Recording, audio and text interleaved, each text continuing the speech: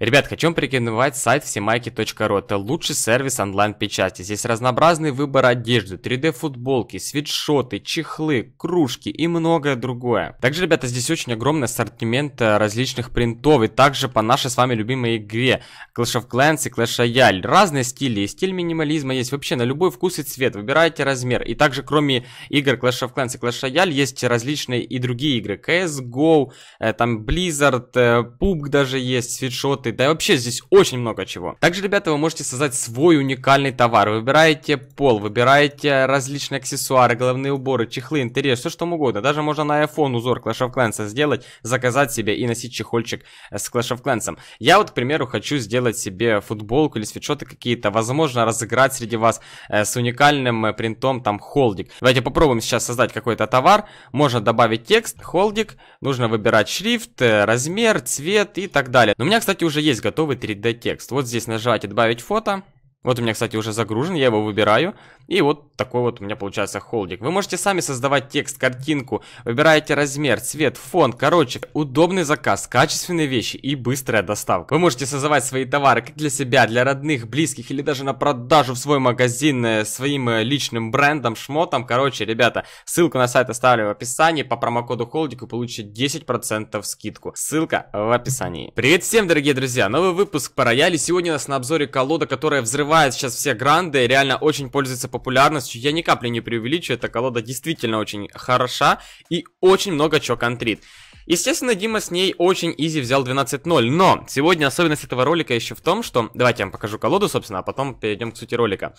А, колода спека. Я ее на стриме показывал, говорил, что я про нее тоже запилю обзор, а, потому что Дима сначала мне пред, предоставил колоду с гигантом, который очень легко контрит пека. И конкретно это дека. Говорю, Дим, так а в чем тогда прикол? Сейчас пека очень часто встречается в грантах. Зачем я буду показывать колоду с гигантом? Говорит, потому что колода с гигантом тоже в умелых руках очень хорошо играет. И м, обыграть эту колоду тоже можно с гигантом. Но с ней проще играть, вот конкретно с этой декой.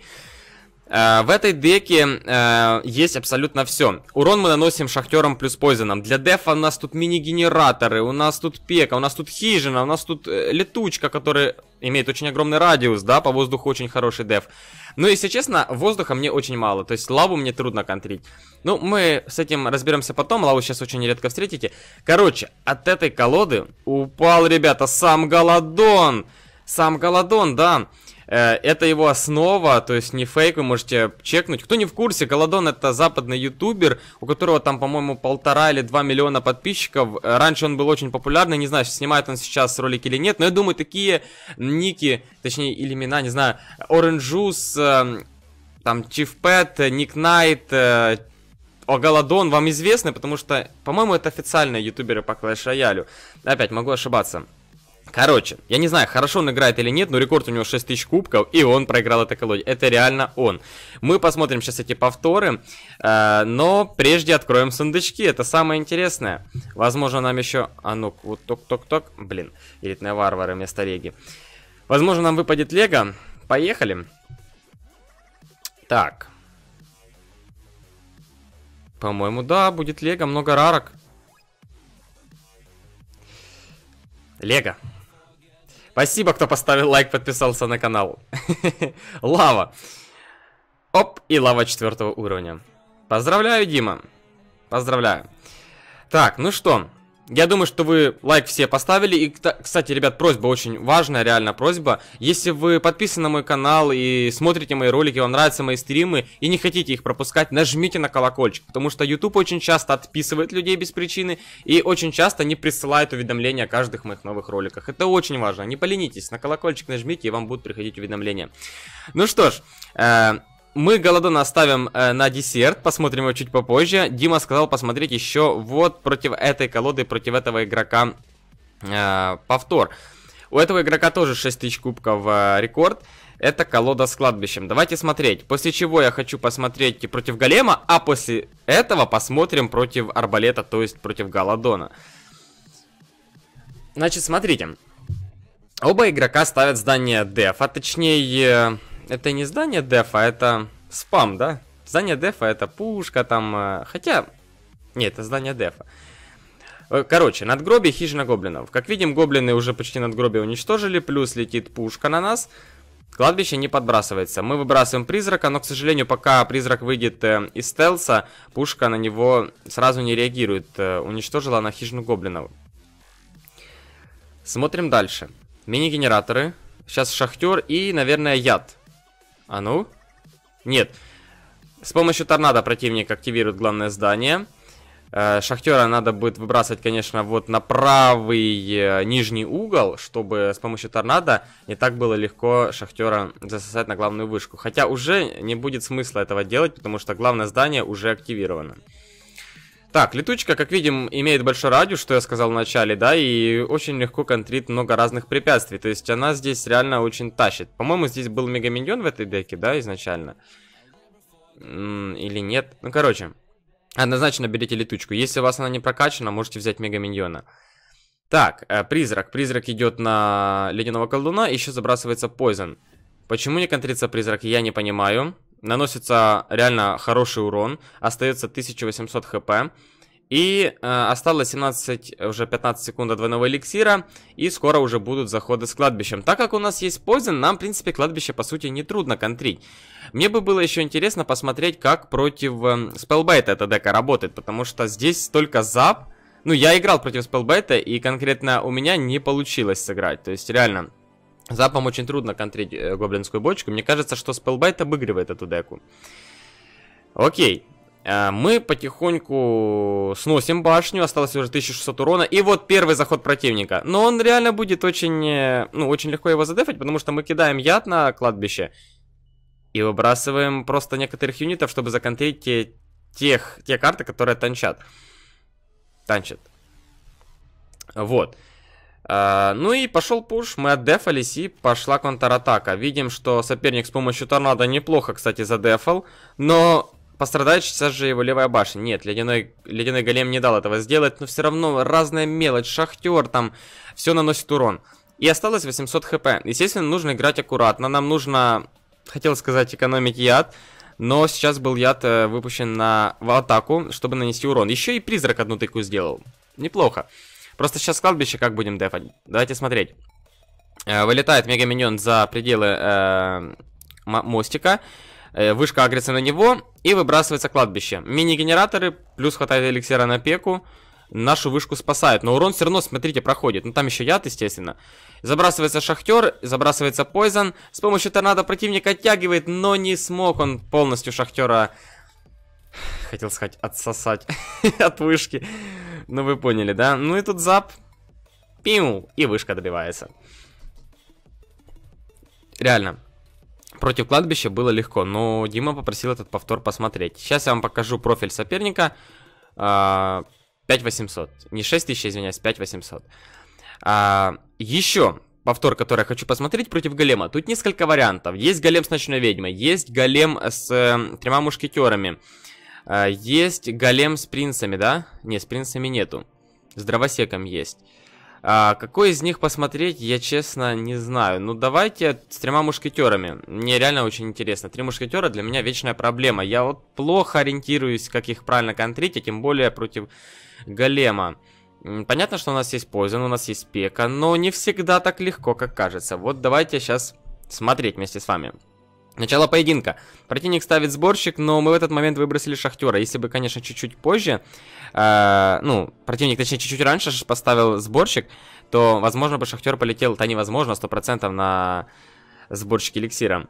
Но, к сожалению, мы сборщик сейчас не законтрили. Поэтому, естественно, это минус. Э, сейчас готовится ставить хижина гоблинов. Э, и противник понимает, что эликсира ему хватает, так как стоит сборщик эликсира на подстраховке. И выпускает голема. Выпускает голема. Мы готовим сейчас э, пеку, но... Но не выбрасываем. Мини-генераторы пойдут. Или нет? А я бы выбросил пеку. Так, смотрим. И вот сейчас пека пойдет на мушкетеров. Вот он. Вот он, конечно, правильный ход. Не тратьте, ребята, пеку просто на голема вперед. То есть, э, те юниты, которые идут за големом, они, естественно, пеку очень быстро уничтожат. Нужно за големом выбрасывать пеку. И тем самым э, пека справится с дополнительными юнитами, которые идут за ним. и переключиться потом на голема. При этом всем у вас же по-любому какие-то мелкие юниты будут дамажить голема, ну как э, в данном случае это были мини-генераторы. Ой, сейчас сборчик, конечно, бессмысленно было ставить, потому что его 100% сейчас заберет... Эм... Дима, но я вижу, готовится банда гоблинов. Но, естественно, естественно, еще выбрасывается яд наперед. Зап был от кого, я не увидел. М -м наверное, от Димы. Но я не уверен. Ну вот, короче, минус сборщик. По эликсиру, естественно, мы проигрываем. Не знаю почему, почему именно так поставил хижину гоблинов Дима. Честно, не знаю, напишите в комментариях, почему он так поставил хижину, не посередине, чтобы голем на нее агрился. Может, потому что, пускай гоблины наносят постепенно урон. Вот сейчас он выбросил пеку, кстати, не за големом, а вперед. Ну окей. Наверное, будет призраком дефать э, трех мушкетеров, двух мушкетеров, которые сагрились уже на голема. Очень далеко выбрасывается орда мух, плюс эти летучие мышки. Я думал, будет контриться это дело ядом, но хватает запа. Смотрите, задефались. Урон, конечно, немножко прошел, но смотрите, сколько у нас эликсира, плюс какая идет атака. Выбрасывается еще поизон. Пека жив э, жива или жив э, мини-генератор, летучка, но орда миньонов. Орда миньонов задефала. Урон тоже мы нанесли, 1500 хп. По эликсиру, конечно, пока проигрываем, но у нас стоят э, две хатки. Мне кажется, тогда Дима мискликнул и поставил хижину налево. Мне так кажется, не знаю. Окей. Забрасывается шахтер на правую башню пока вышка. А почему вышка на шахтера согрелась, а не на призрака? Ну ладно. Так, вот они, мушкетеры. Давай яд. Яд. Хорошо. Пека пока справляется, отлично. Так, что дальше? Дальше, я так понимаю... Что дальше? Серьезно? Вау, сборщик, ребята, вот это поворот. Вот это поворот. Ну, короче, Дима забивает на сборщик, конечно. Зачем? И просто идет full абанк. Так, э, забрасывается шахтер. Зап. Где же Пойзен? Где же он? Не, Дима не тратит поздно, потому что понимает, сейчас пойдет орда миньонов, и он не задефает, не задефает. Выбрасывается пека у мостика. Сейчас очень, кстати, напряжно. Так, мини-генераторы сейчас быстренько убивают эм, летучих мышей. Так, что же с миньонами? Пойзен. Все-таки приходится тратить пойзен, потому что видим, что не, не задефал он. Не задефает, точнее, мини-генераторами. Короче, противник уже начинает пессинговать. Его сборщик реально дает плоды. А, по эликсиру, конечно, Дима проигрывает. Но Шахтер по чуть-чуть, по чуть-чуть урон наносит. Самое главное, никуда не торопиться, не тратить зазря эликсир. Всегда успеете добить вышку. Главное отдефаться. И вот сейчас противник просто фул атака. Пека, минус один мушкетер, минус второй мушкетер, минус третий мушкетер. Все, сколько там в сумме эликсира? 8 эликсира голем и 9 эликсира э, мушкетеры. Ой, да. Короче, 17 элика потратил, а Дима законтрил пекой за 8. ну, сами понимаете, да? Итак, Poison. Ой, там еще призрак. И Poison. И еще с запом можно было добить. Хотя нет, зап был на миньонов. Кстати, если бы сейчас вышку он не снес, он бы проиграл. Хотя Poison бы он выбросил на деф тогда. Вот почему мне было интересно посмотреть этот повтор, потому что... Ну, очень-очень реально для меня было бы трудно играть против трех мушкетеров. Блин, я, я всегда Всегда теряюсь, всегда неправильно выпускаю те, те или другие карты. И рекорд небольшой у соперника. Ну что, переходим к самому интересному. Галадон. Вот он. Поехали. Против арбалета мы играем. Я не знаю, э, ребята, как играет Галадон, но 6000 кубков, я не, как никто другой понимаю, как они трудно даются. Поэтому, как-никак, все равно э, но все равно какое-то место в глобале он держит, да? Ну, там возле топ-200 он, я думаю, крутился. Так, мы ставим хижину, и, и было принято решение хижину уничтожить арбалетом. Понятно, потому что в атаку все равно не пройдешь. Окей, что дальше? Ледяной голем с краю карты. Э, Голодону, естественно, очень легко прокрутить очень быстро э, свой цикл до второго арбалета. Нам до хижины не так легко. Мини-генераторы сплит. Один э, генератор слева, два справа. Ок. Тут у нас призрак. Так. Ракета. Интересно. Хорошо. Выбрасывается летучка. Сейчас будет хижина. Короче, до двойного эликсира э, никто не спешит идти в атаку. Но у нас шахтер, нам, в принципе, что париться? Мы шахтера в любой момент можем выбросить. Вот он, шахтер. И мега миньон на летучку, потому что летучка нанесет очень много урона. Хотя можно было бы выбросить мега миньона так, чтобы... Эм, мега миньона так, чтобы он бил шахтер, и летучка сагрилась на мега миньона. Мне кажется, так было бы лучше. Хотя, не знаю. И снова арбалет на деф. Ну, тут позин будет. Так. 25 секунд до двойного эликсира, и мы уже снесли четверть башни. Да. Осталось 1600 хп. Окей, снова сплит, я так понимаю, мини-генераторов. А, нет, все три на одну сторону. И сейчас, походу, будет пека. Хотя нет, пека, я думаю, будет только тогда, когда выставится голем. Мини-генераторы подходят к мостику. Что же дальше? Мега... Ой, летучка. Так. Пока противник не спешит ставить арбалет, с помощью торнадо всех оттягивает, ну, чтобы они были в кучке. И э, ледяной колдун смог э, всех э, дамажить сплэш-уроном. Тут уже второй ледяной колдун, который, кстати, умер быстрее, чем первый. Мы подбросили еще пеку, там призрак, еще мини-генераторы. Короче, тут ракета. Ракета нужна. Ракета плюс торнадо. Но мы что урон наносим не пекой. У нас-то Poison Шахтер урон наносит, поэтому нам не страшно. Нет, ракеты не было, я что-то не знаю, что так подумал. Итак, э, наш противник справился. Задефал без ракеты. И вот забрасывается шахтер. Э, но шахтера словили э, скелетиками. Поэтому шахтер не с фул хп наносил э, урон по вышке. Плюс зап там был. Так. Ну что, постепенно, видим, постепенно мы, блин, прессингуем. Голодон, по-моему, ни разу еще арбалет не поставил. Короче, это реально трудно, наверное, атаковать против э, хижины гоблинов. С арбалетом, да. Мешает, мешает он арбалет. Увидим, что он... О, вот только сейчас поставил арбалет в атаку. И смотрите, у нас, кстати, не так много эликсира. Ракета летит. Летит ракет... Ой-ой-ой-ой, ракетой промазал. Видел, видели, да, что ракета была чуть-чуть наперед, а мини-генераторы с места не сдвинулись. Ну, когда ракета тратится просто так, это GG. Осталось 500 хп. Нам еще даже и полбашни не снесли. Ну, естественно, тут даже можно шахтера уже не выбрасывать. Хотя не, почему не выбрасывать? Зачем нам шахтер, кроме того, как выбрасывать его на вышку? Ну вот шахтер плюс пойзен.